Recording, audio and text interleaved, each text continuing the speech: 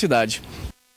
Medidas de proteção ao sauim de coleira começaram a ser discutidas esta manhã durante uma audiência que reuniu diversos órgãos ambientais aqui na capital. A espécie de primata que habita as reservas naturais no entorno da cidade está ameaçada de extinção. A reserva do Parque Municipal do Mindu, na capital, ainda é um exemplo de habitat natural do sauim de coleira.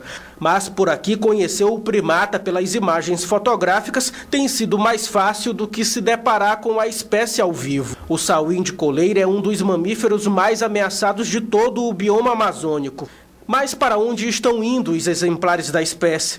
Esse analista ambiental faz uma alerta. A reprodução do macaco está diminuindo cada vez mais nos tempos atuais. O que está acontecendo com o sauim é que uh, ele vive numa área bastante restrita, praticamente o município de Manaus, pegando alguma coisinha de Rio Preto da Eva, e a, a área onde ele vive está sendo desmatada numa velocidade muito grande por conta da, da ocupação urbana. E as poucas áreas que ainda restaram com alguma população de sauim, ainda tem o problema da fragmentação.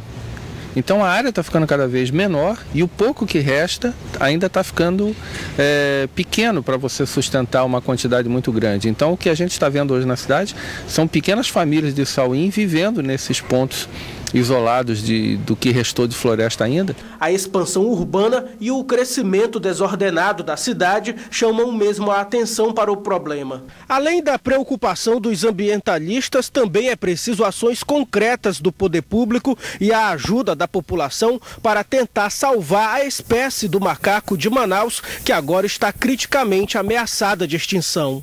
A educação ambiental é, importante para que as pessoas entendam a necessidade de proteger o sauim.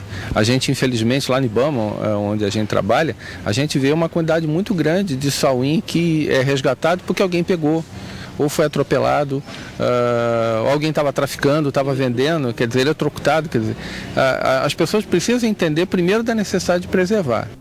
Na manhã de hoje, representantes de órgãos ambientais se reuniram para debater o tema.